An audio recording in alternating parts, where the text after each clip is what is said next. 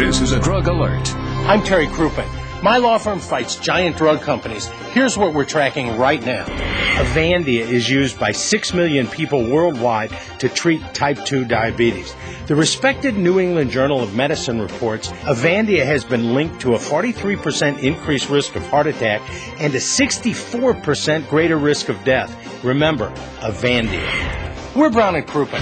Call us for free at 1 800 536 HELP.